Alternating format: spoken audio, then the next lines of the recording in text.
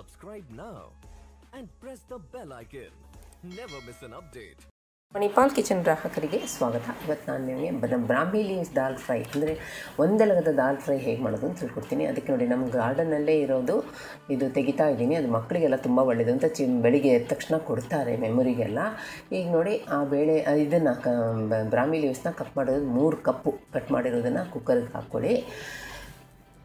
ಅದಕ್ಕೆ ನೆನೆಸಿರುವಂತಹ ಇದು ಹೆಸರು ಬೇಳೆ ಹಾಕಿ, ಮತ್ತು ನೆನೆಸಿರುವಂತಹ ತೊಗರಿಬೇಳೆ ಹಾಕಿ, ನೀರು ಸಮೇತ ಹಾಕಿ ಇದು.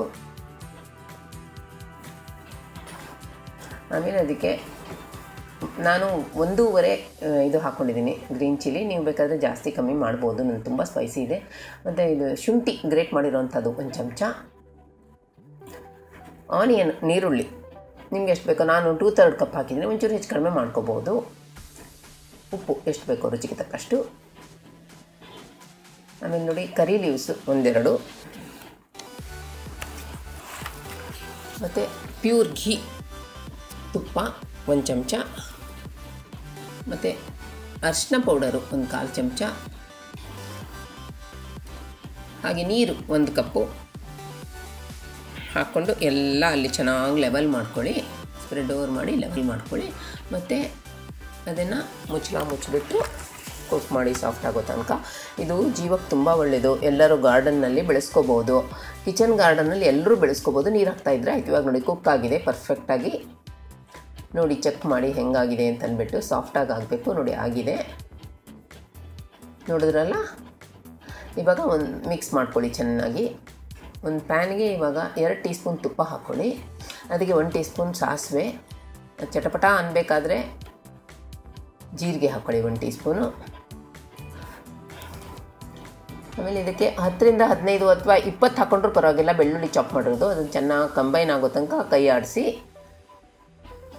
ನೋಡಿ, ಅದು ಇವಾಗ ಫ್ರೈ ಆಗ್ತಾ ಬಂತು. ಚೆನ್ನಾಗಿ ಫ್ರೈ ಆಗಿದೆ. ರೊಮ್ಯಾಟಿಕ್ ಆಗಿದೆ. ಇವಾಗ ಅದಕ್ಕೆ ಕರಿ ಲೀವ್ಸ್ ಹಾಕ್ಕೊಳ್ಳಿ ಒಂದು ನಾಲ್ಕು.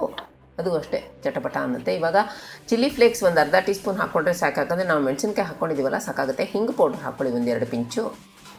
ಅದನ್ನು ಅಷ್ಟೇ ಎಲ್ಲನೂ ಅರೋಮೆಟಿಕ್ ಆಗೋ ತನಕ ಮಿಕ್ಸ್ ಮಾಡ್ಕೊಳ್ಳಿ. ಪರಿಮಳ ಬರೋ ತನಕ ಗಮ್ ಅಂತ. ಈಗ ನೋಡಿ, ನಾವು ಕುಕ್ ಮಾಡಿದ್ದೀವಲ್ಲ ಅದು ಬೇಳೆ ಮತ್ತು ಬ್ರಾಹ್ಮಿ ದಾಲ್ ಮಿಕ್ಸ್ನ ಅದಕ್ಕೆ ಹಾಕ್ಕೊಳ್ಳಿ ಇದು ತುಂಬ ಸಾತ್ವಿಕವಾದ ಡಿಶ್ಶು ಎಲ್ಲರಿಗೂ ಸರ್ವ್ ಮಾಡುವಂಥದ್ದು. ಅದರಿಂದ ನಾನು ಮಸಾಲ ಗಿಸಾಲ ಏನು ಜಾಸ್ತಿ ಹಾಕಲಿಲ್ಲ ಇದಕ್ಕೆ. ಇವಾಗ ಕಂಬೈನ್ ಮಾಡ್ಕೊಳ್ಳಿ.